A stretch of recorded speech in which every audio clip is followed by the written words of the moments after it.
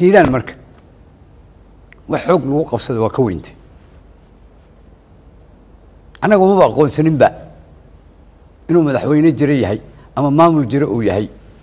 Waxaan rabnaa maanta inaan ka hadalno shirkan jira inaan u qabannay in kacdoonkii uu taagan yahay wax alla wuxuu soo ururiyey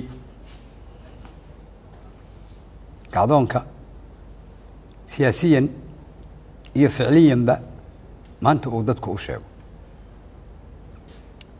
Waa nala noqon weysay markaan xamar nimid arrin ceyriina inaan ka hadalno. Waxaan mar walba isku dayeynay wax walba inaan ka gungaarno waxna waxay fiican yihiin marka laga gungaaro in laga hadlo. Waxaan shirkan jaraayad u qabannay hirshabeelle mowqifka ay taagan tahay iyo mowqifka aan taagannahay kacdoonka hiiraan haddaan nahay inay aada u kala fog yihiin. Marna baan isu imaan karin. Haddii laysku dayo xataa aan la isu soo jeedi karin. Sababtaas waxay tahay markhaatimo doonta meesha taalla ay tahay wixii ka dhacayay ee dhacdooyin ahaa hiiraan ee waxba laga qaban. Waxaa soo jeedi kara marka inaan waxba laga qaban dhowr arrimood. Arrinta koowaad oo ah wax haddii la dhiso hirshabeellaa la dhisaa le haddii la dhisay hirshabeelle waa in madaxweyne loo doortaa. Waa in maamulkeedii la dhisaa madaxweyne markii la doorto muxuu madaxweyne ku noqon karaa? Waa madaxweyne ku noqon karaa in la dhaariyo la caleemo saaro. Madaxweyneha la caleemo saarin la dhaarin ayaa hawshaan iska wata shalayna jujuub lagu keenay. Hiiraan marka. Wax xoog lagu qabsada waa ka weyntay. Annaga umaba aqoonsaninba inuu madaxweyne jiro yahay ama maamul jiro uu yahay. Caddaynteediina waan taan sheegay oo ku noqon maayo. Hirshabeelle waxaan mar hore iyo mar dambeba diidannahay in aan wax isku darsanno. Waa laga yaabaa xal waara oo fiican inuu yimaado. Laakiin wuxuu ku imaan karaa xalka wax ummadda raalli ka tahay. Maanta haddii shalay reer hiiraan kala qubnaayeen reer hiiraan waa israacsan yihiin dhibaatooyinkii dhacay ayaa isu keenay reer hiiraan. Musiibooyinkaas waxaa ka mid a qaraxyadii saddexdaha ee beledweyne ka dhacay ay goobjoog ka ahaayeen ee lagu qabanayay meesha doorasho. Okay. Ayagoo goobjooga ayay misena ka hadleenay dheheen waxaan ka qaban karna male. Abaaraa jiray qaraxyaa jiray dad badan oo ku dhintay. Boqol shan iyo labaatan qofoodaa ku dhimatay qaraxi dhaawacu wuxuu ahaa boqol toddobaatan iyo shan. Hanti badanaa burburtay.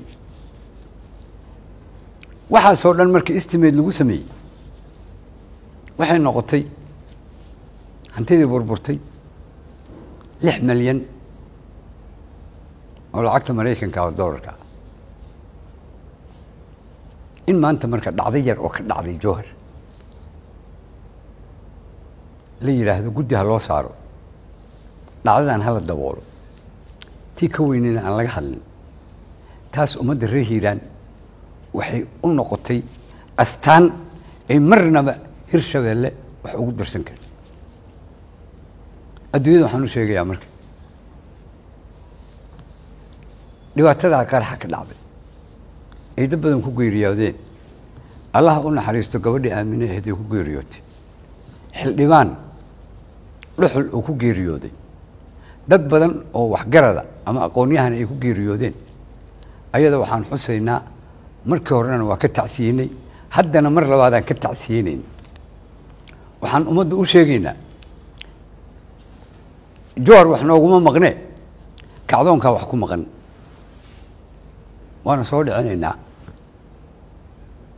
Haddii ayaga maamulkoodii wax ku kooban ay ka hadleen annaga waxaan ka hadlaynaa ummadda baaba'san badankooda waxa xaqabatiri kara. Intaas waxaa ii dheer waxaa waaye arrin facebooka la soo geliyey oo la leeyahay kacdoonku genaraal xuud wuxuu lid ku yahay xasisha mucaaraduu ku yahay. Shalay waxaa dhacday in shaqadii la rabay in la qabto siday ahayd aan loo qaban laakiin maanta madaxweyne xasan sheekhaa yimid shaqadina way hor taallaa asaana qaban doona cid ka hor istaagi kartana lama arko maxaa dhacay wuxuu madaxweyne u yahay wixii dhaliille inuu wax ka qabto.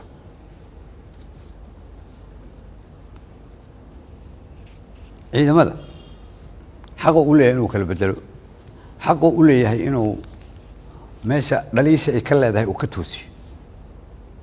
Lagama hadli kara taas. Waa madaxweynaha gaar ahaan awoodda uu leeyahay wa qofkii ka hadlana waa qaldamay warkaasna waran anigii idhi maaha haddii aad war tidhaahdo warkaagii la beeniyene adigay foolxumo kugu tahay. Qofuuna markaa qorin war uusan qofka kala dhihin ama xog rasmi aadan ka haynin qofkaas. Isu soo duuduub kacdoonku muddadii uu xamar joogay wuxuu u kuuragelayay bal bulshada reer hiiraan midanteeda isku duubnideeda wax wada qabsigeeda waxyaabo badanaa noo soo baxay oo ah mucaarad ilan hiiraanba waxaa laga dumiyaa xamar. Waxa laga dhaqaaqi waayo waa xamar. Xamar markaan leeyahay ummadda reer xamarkaa ma wada hani waa dadka hiiraan u dhashay ee xamar joogay. Ee horena u ahaa siyaasiyiinta haddana siyaasiga raba. Hirshabeelle ninka damaacinayo waxaan leenahay ka har damacaas. Damac hirshabeelle ee dambe. Reer hiiraan ma qabaan. Arrimaha kale noo yaallo aan isaga nimaadno ka wada hadalno reer hiiraan haddaan. Nahay waxyaabaha nagu dhacayo waa aragtaan. Wax jowhar naga qabsaday waa aragtaan. Wax faahfaahin u baahan maaha. Afkiisuu ku yidhi cali guudlaawe waxba kama qaban karo wixii dhacay wuxuu goobjoog u ahaa. Meydkii oo daadsan gurihii oo dunsan dhaawacii oo meel la kala geeye la la'yahay isbitaalkii ka dunsan yahay in doorasho lagu kor qabto. Oo lagu kor feesteeyo. Maxaa noo haroo kale marka? Waa waxba. Waxaan warkii ku soo kaabinaya madaxweynaha hore wuxuu ugu dhawaaqay qabyo ninkeedaa dhammaystira. Waa la qabnaa. Wax badan inay qabyo ahaayeen inuu dhammaystiri karana waa qabnaa. Kusoo dhawow qabyadii inaad dhammaystirtaan rabnaa daldaloolo badan ay soomaaliya leedahay inaad ka ooddo allah kugu soo duwo hawada waxaan kuu soo marinaynaa duco. Caafimaad allah ku siiya wax kaga qabato. Dadnimo iyo raganimo a wax kaga qabato iyo geesinimona allah ku siiyo. Hirshabeelle shalay adaa aas-aasay maantana adaa goobjoog u ah meesha ay marayso lagaagama turjumaayo waxaan kulligeen raalli ka nahay inaan intaan isugu nimaadno miis fadhiisanno isla goranfayno waxa saxdaa isla qaadano